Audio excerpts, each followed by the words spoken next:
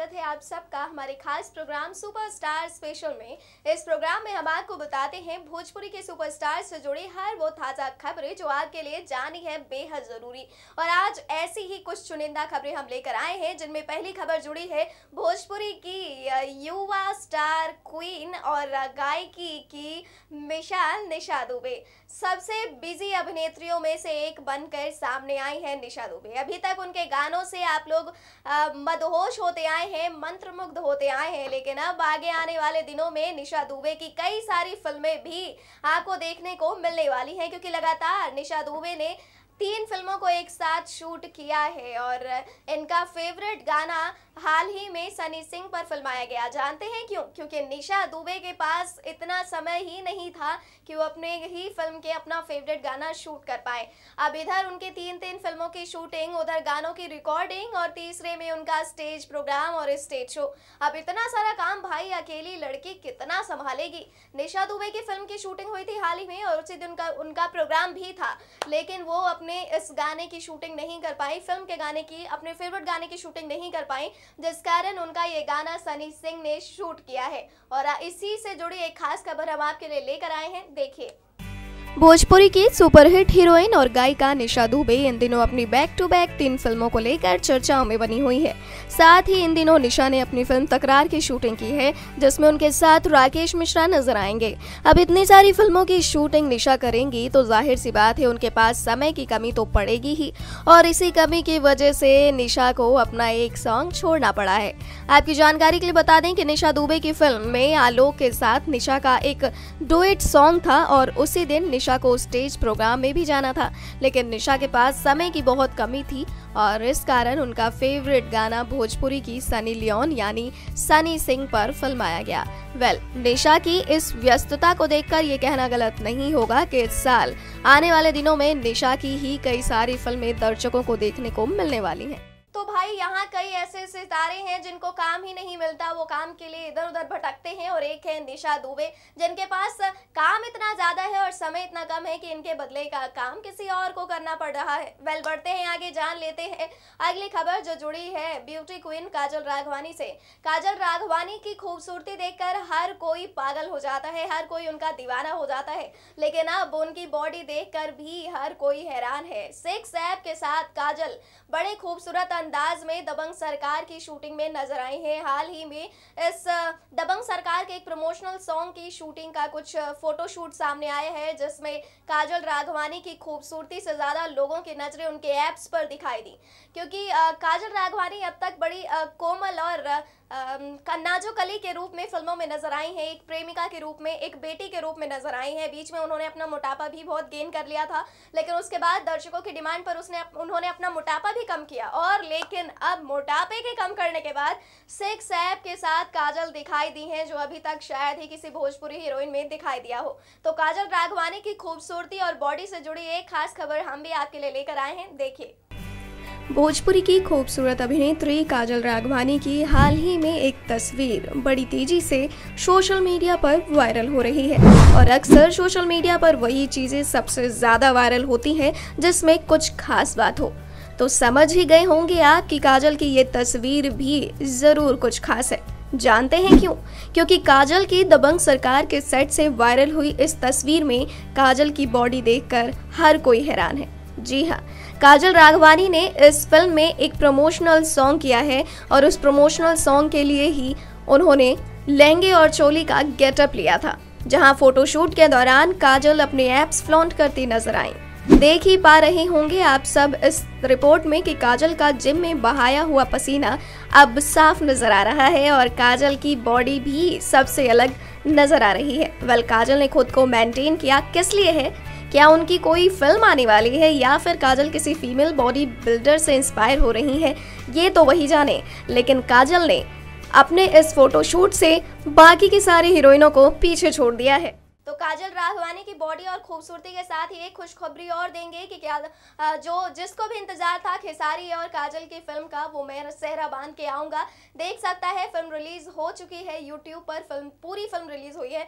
पहले खबर आई थी कि फ़िल्म रिलीज़ कर दी गई है यूट्यूब पर, जब आप उसको खोलेंगे तो उसमें पूरी फ़िल्म नहीं है, लेकिन अब यूट्यूब पर फ़िल्म के निर्माता निर्देशक ने जानकारी दी है कि अनिल काबरा ने कि फ़िल्म को यूट्यूब पर पूरा का पूरा रिलीज़ कर दिया जा रहा है, लेकिन कौन से चैनल पर और कब रिलीज़ हो रही है ये फ़िल्म इसकी जानकारी हम आपके लिए लेकर आए हैं। देखिए।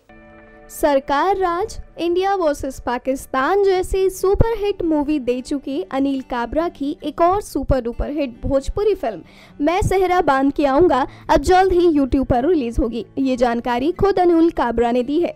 अनिल काबरा ने बताया है कि फ़िल्म मैं सहरा बाँध के आऊँगा ने भोजपुरिया स्टोरी के सिनेमाघरों में काफ़ी डिमांडिंग फ़िल्म बनकर उभरी है। और मुंबई में या बिहार में सभी जगह दर्शकों ने फ़िल्म को सराहा है और लोग इसे बार बार परिवार के साथ देखना भी चाहते हैं।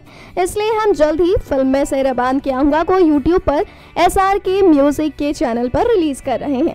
अनिल काबरा की माने तो फ़िल्म में सहराबान के आऊँगा यूट्यूब पर भी धमाल मचा देगी। परिवार और परिवेश की झलक दिखाती इस फ़िल्म को दर्शकों का बहुत प्यार मिला और उम्मीद है कि आगे भी मिलेगा। अनिल काबरा का कहना है कि उन्हें ऐसी फ़िल्में करना अच्छा लगता है जो लोगों को पसंद आए और वे उसे बार बार देखें। हालाँकि भोजपुरी फ़िल्मों पर अश्लीलता के लगते आरोप के कारण लोग परिवार के साथ फ़िल्म नहीं देख पाते, लेकिन उन्हें ऐसी फ़िल्मों को बनाने में मज़ा आता है जिसे पूरा परिवार एक साथ बैठ देख सके। अनिल काबरा ऐसी फ़िल्मों को प्रमोट भी करते हैं। बता दें कि अनिल काबरा राजस्थान से हैं। उन्होंने अब तक कई हिंदी फ़िल्मों का भी निर्माण किया है, लेकिन भोजपुरी के प्रति उनका प्रेम और इनकी लोकप्रियता ने अनिल काबरा को आकर्षित किया है। यही वजह है कि वे अब एक और भोजपुरी फ़िल्म को प्रोड्यूस कर रहे हैं, जिसका नाम है निरहुआ चलल लंदन। इस फ़िल्म की शूटिंग भारत, इंग्लैंड समेत कई अन्य देशों में की गई है। Anil Kabra India e commerce company के मालिक भी हैं, जो फ़िल्म निर्माण और वितरण के क्षेत्र में सक्रिय है। फ़िल्म मैं सहराबान के आऊँगा की परिकल्पना अनंजय रघुराज सिंह ने की है फ़िल्म में खेसारी लाल और काजल राघवानी के हिट जोड़ी के अलावा देश मिश्रा, संजय पांडे, संजय महानंद, किरण यादव, सुमन झा, गोपाल राय। ये तमाम खबरें आपने पूरे दिन कहीं और से भी सुनी होगी, लेकिन अब जो हम खबर आपको बताने जा रहे हैं, वो खबर बहुत हैरानीजनक है और बहुत खास है। क्योंकि हाल ही में इंडस्ट्री के दो कलाकारों ने एक दूसरे से शादी कर ली है और बर सात फेरे करके बन चुके हैं एक दूसरे से शादी के बंधन में। जानते हैं ये नई जोड़ी कौन है? नहीं जानते तो चलिए हम बता देते हैं। नाम है रुपेश आर बाबू और हीरोइन का नाम है रंगोली पांडे। दोनों की शादी की तस्वीरें देखकर सभी की आँखें हैरान है। किसी को अपनी आँखों पर भरोसा ही नहीं हुआ कि दोनों शादी कि दोनों ने शादी कैसे कर ली और कब कर ली? तो जिनको भी हैरानी हुई है और जिनको भी यकीन नहीं हुआ है, उनके लिए एक खुशखबरी और है कि ये शादी सिर्फ़ फिल्मी है। कोई शादी रियल में नहीं हुई है। वो अलग बात है कि रील में भी आजकल भोजपुरी फ़िल्मों में बड़े रीति रिवाजों के साथ शादी की जाती है लोगों को रिझाने के लिए, लेकिन ये शादी करते समय दर्शकों को भी ऐसा लगता है कि दोनों शादी के बंधन में बच चुके हैं। अब कल्लू और ऋतु का एग्ज़ाम्पल ले ले लीजिए। आज तक कई सारे लोग यही समझते हैं कि अरविंद अकेला, कल्लू और ऋतु सिंह पति पत्नी है। हाल ही में दोनों की शादी का एक सीन फिल्माया गया था, लेकिन वो सीन सिर्फ़ फिल्मी था, जो सरकारी लोग खटिया जाड़ा लगे में आप लोग देख चुके होंगे। उसके बाद से दोनों अलग हो चुके हैं। तो उनके साथ रुपेश आर बाबू रंगोली पांडे के साथ भी कुछ ऐसा ही हुआ है। अब इनकी तस्वीरों को देखकर लोग ये ना समझ बैठे कि दोनों शादीशुदा हैं। तो इसलिए हम इसी जोड़ी से, इसी नई जोड़ी से जुड़ी एक खास खबर लेकर आए हैं। आपके लिए देखिए। खबर भोजीवुड से है कि अभिनेता रुपेश आर बाबू ने रंगोली पांडे से शादी कर ली है।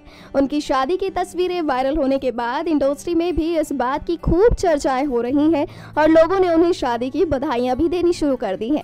हालाँकि रुपेश आर बाबू की अभी शादी का कोई इरादा नहीं था, जैसा कि पिछले दिनों उन्होंने एक इंटरव्यू में बताया भी था, लेकिन शादी के मंडप पर रंगोली पांडे के साथ तस्वीर सामने आने से उन अटकलों को विराम लगता नज़र आ रहा है। वैसे ये पूरा मामला फिल्मी है। और रुपेश आर बाबू ने ऑन स्क्रीन अपनी शादी रंगोली पांडे के साथ रचाई है। हम बात कर रहे हैं निर्देशक डी के आज़ाद की हिंदी फ़िल्म अभिशप, घूंघट, समाज के संवेदनशील मुद्दों पर आधारित है, जिसकी शूटिंग मोतिहारी में समाप्त हो चुकी है। इसमें दोनों एक दूसरे के फेरे और अन्य रस्मों को निभाते नज़र आ रहे हैं। तो वहीं जब हमने इस बारे में रुपेश आर बाबू से पूछा तो उन्होंने हँसते हुए कहा कि असल में मैंने कभी शादी का फैसला नहीं किया है, लेकिन अपनी हिंदी फ़िल्म, अभिशप्त घूंघट मेरा किरदार ही ऐसा है, इसको लेकर मैं उत्साहित भी हूँ। रुपेश आर बाबू कहते हैं कि फ़िल्म अभिशप्त घूंघट सामाजिक मुद्दों को उठाते हुए दर्शकों को एंटरटेन भी करेगी। बिहार में इन दिनों राज्य सरकार ने दहेज प्रथा के खिलाफ मुहिम चला रखी है। फ़िल्म में उस मुद्दे को भी प्रमुखता से उठाया गया है। फ़िल्म की कहानी गाँव के परिवेश में है, इसलिए इसकी शूटिंग मोतिहारी में की गई है। अब इसके पोस्ट प्रोडक्शन का काम जैसे ही चल रहा है और कंप्लीट होगा, वैसे ही फ़िल्म रिलीज़ होने की तारीख भी घोषित कर दी जाएगी। इस फ़िल्म के संवाद काफ़ी पावरफुल हैं, जो दर्शकों को प्रभावित करेंगे। फ़िल्म का स्क्रीन प्ले इतना सुगाही है कि लोगों को इससे कनेक्ट करना मुश्किल नहीं होगा। फ़िल्म के गाने भी बहुत जोरदार और कर्णप्रिय हैं, जो लोगों को यकीनन पसंद आएँगे। फ़िल्म के प्रचारक संजय भूषण पटियाला हैं। तो ये थी आज भोजपुरी के सुपरस्टार से जुड़ी कुछ ताज़ा खबरें। अगली बार फिर मिलेंगे ऐसे ही सुपरस्टार से जुड़ी कुछ और ताज़ा तरीन खबरों के साथ। लेकिन तब तक के लिए आप हमें दीजिए इजाज़त। नमस्कार। नेक्स्ट नाइन न्यूज़ भोजपुरिया के सब्सक्राइब करें और लेटेस्ट अपडेट खातिर बेल के आइकन वाला बटन दबाएँ।